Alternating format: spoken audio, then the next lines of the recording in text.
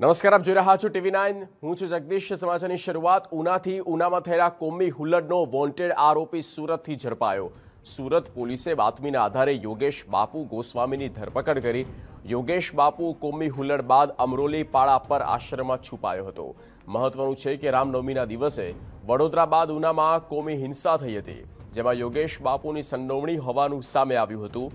યોગેશ બાપુ ગોસ્વામીની ધરપકડ કરી લેવામાં આવી છે કોમી હુલડનો આ આરોપી ઝડપાઈ ચૂક્યો છે.